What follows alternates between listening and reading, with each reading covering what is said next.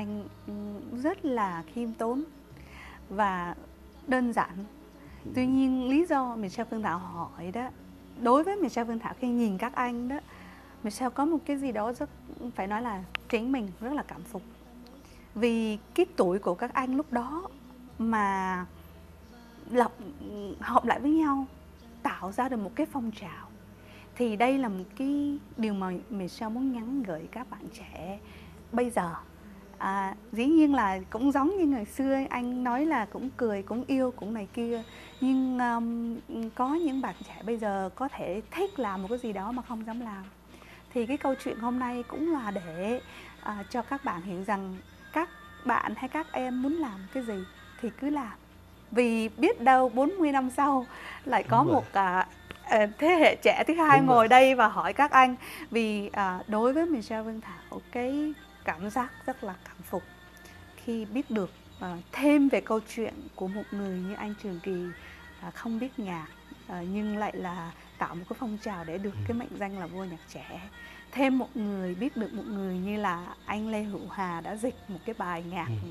đồng xanh tuyệt vời như thế này à, cái lời nghe phải nói là ừ, Michelle rất rất là cảm động và hiểu được tại sao đây là một cái bản nhạc là cái của phong trào thì cái câu chuyện cái kết thúc của câu chuyện hôm nay thật sự là như thế Michelle Phương Thảo rất rất à, cảm phục các anh và cảm ơn các anh cũng đã thật sự là làm cái gì đó à, cho quê hương mình mà mình không biết đó. Có nghĩa là đã đóng góp vào cái gia tài âm nhạc Việt Nam một dòng nhạc một phong trào Michelle nghĩ rằng sẽ không bao giờ quên lãng đâu.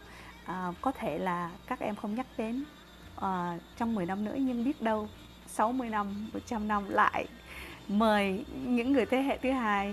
thứ ba để mà hỏi về cái chương trình ừ. này thì à, rất là cảm ơn anh đã đến đây bỏ thời gian đến đây thì à, anh có tâm tình gì để mà gửi đến à, các em giới trẻ à, người Việt à, lớn lên và sinh trưởng ở hải ngoại ở khắp nơi trên ừ. thế giới vì mình đi khắp các mọi nơi rồi dạ xin anh gửi đến tôi thấy thì nếu mà nói riêng về cái lĩnh vực lĩnh vực âm nhạc thì nhạc không có biên giới.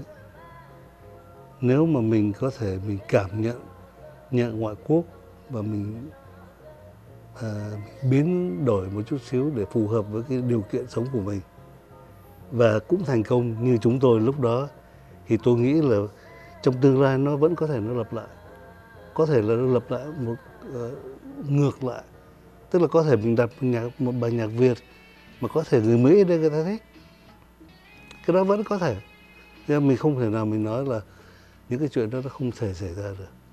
Thì tôi nghĩ là như Phương Thảo Michelle Phương Thảo nói lúc nãy đó thì cái chính là cái mà mình nếu mà mình có một cái giấc mơ mình có một cái hoài bão mình có một cái niềm tin thì mình mình phải thực hiện nó. Bởi vì mình có niềm tin mà mình không thực hiện thì không bao giờ đến với mình cả. Thì uh, trước khi mà tôi tôi tôi uh, xin hết lời thì tôi cũng nhân dịp này là cảm ơn Phương Thảo, sao Phương Thảo đã đã mời đến để được nói chuyện ngày hôm nay thì rất là vui. à, cảm ơn Art Center, cảm ơn uh, Sài Gòn TV cũng cho tôi một cái dịp không những được nói chuyện về một cái đề tài mà mình cũng là một chứng nhân trong cái thời gian đó. Thì nói thật là cũng không khó khăn gì cả. Khi nói những chuyện này thì rất là vui. Và cũng đồng thời cũng có một cái cơ hội à, để ra mắt lại cho ờ, khán thính giả. Có thể trong đó có những bạn cũ và cũng có thể là có những người bạn mới. À, thì hy vọng là buổi nói chuyện hôm nay thì sẽ mang lại một niềm vui cho mọi người. Thì cứ lần nữa thì cảm ơn tất cả mọi người. Dạ à, xin cảm ơn cao anh cao giảng. Um, Michelle biên Thảo làm việc với những chương trình này không ngoài mục đích là mình có thể mang hai thế hệ lại với nhau um, chia sẻ với nhau. Um, cái sự mà những thế hệ trẻ không hiểu được thế hệ lớn tuổi hơn một chút uh, vì chúng ta không chia sẻ.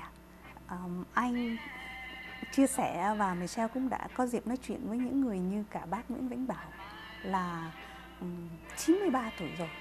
Nhưng bác chia sẻ rất là um, niềm nở và câu bác nói mà Michelle nhớ mãi là nếu như uh, các bạn trẻ không hiểu nhạc Việt Nam vì bác là người chơi đàn chay nhạc dân tộc Việt Nam thì một cái phần lỗi đó là một phần lỗi của bác đã không chia sẻ.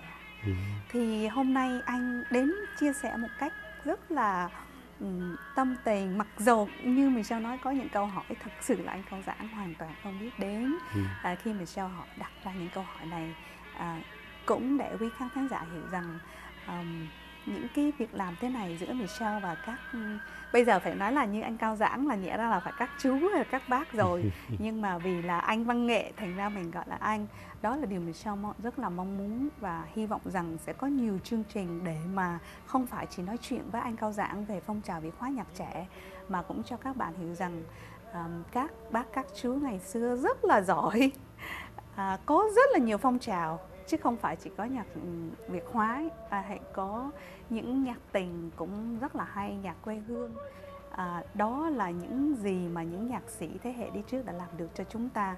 À, và Michelle chỉ mong rằng hé mở cánh cửa này để các bạn à, nếu muốn tìm hiểu thêm thì à, chỉ việc đánh phong trào Việt hóa vào internet thì chắc chắn là sẽ tìm ra một cái kho tàng về một dòng nhạc của cha ông chúng ta.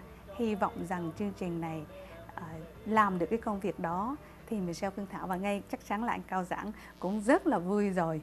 Uh, xin kính chào quý khán thính giả. Xin cảm ơn anh. Cảm ơn Phương Thảo.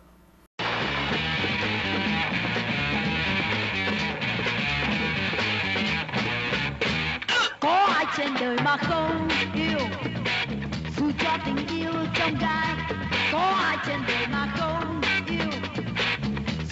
tình yêu chia tay. Có ai trên đời mà không yêu?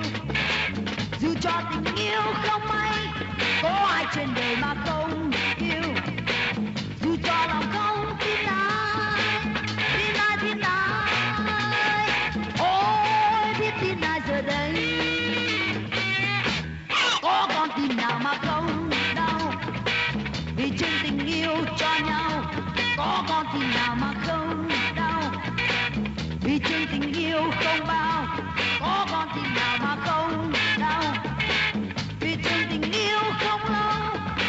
có con tim nào